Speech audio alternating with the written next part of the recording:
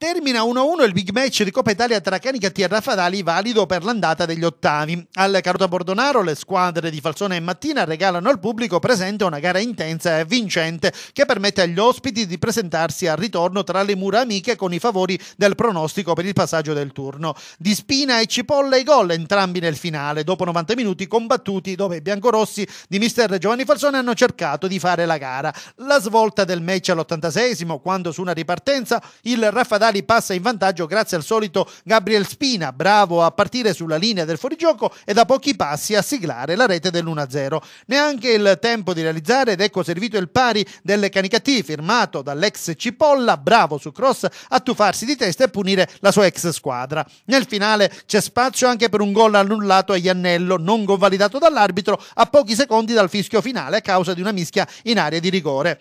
Rammarico per Ciancimino e compagni che però avrebbero di certo firmato alla vigilia per questo risultato considerando soprattutto le pesanti assenze di Sant'Angelo, Sciacca e Gennaro. Tra due settimane ci sarà il ritorno a Raffadari alla squadra del presidente Giacomo Lomascolo, potrebbe anche bastare un pareggio senza reti. Ciò significa che dovrà essere ancora il Canicattì a fare la partita e sperare di segnare almeno una rete. Si giocherà mercoledì 30 novembre, soltanto tre giorni dopo la sfida di campionato che vedrà opposte Raffadari e Canicattì sempre al comunale di Raffadari. Raffadali. Questo per quanto riguarda appunto il campionato. Si ha l'impressione che sia iniziata una sfida infinita che avrà termine soltanto in primavera e che vedrà protagoniste Canicati e Raffadali.